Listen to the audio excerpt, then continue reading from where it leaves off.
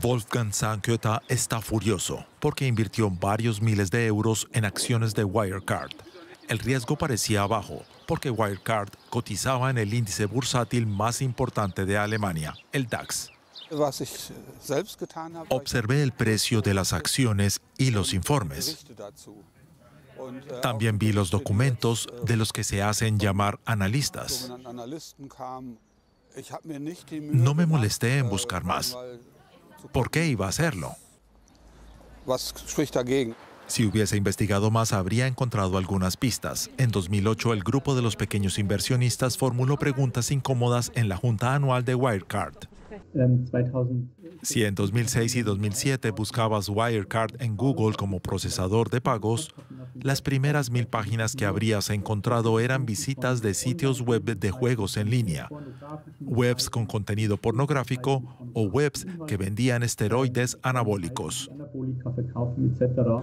Se trataba de sitios que estaban prohibidos en los países de origen por los operadores. En los libros de contabilidad de Wirecard había transacciones de empresas con estructuras dudosas y en paraísos fiscales.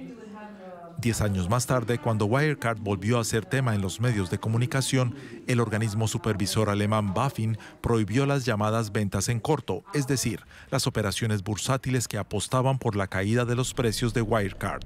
Sin embargo, la empresa de auditoría Ernst Young siguió certificando que los balances de Wirecard estaban en orden. Wirecard se ha declarado en quiebra y aún faltan 2 mil millones de euros en los libros de contabilidad.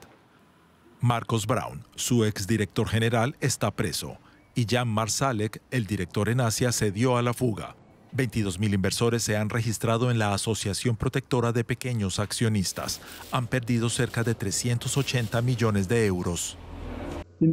Creo que la pérdida de los inversores privados es bastante mayor, incluso si consideras la capitalización total del mercado de Wirecard, que hasta hace poco era de casi 20 mil millones de euros.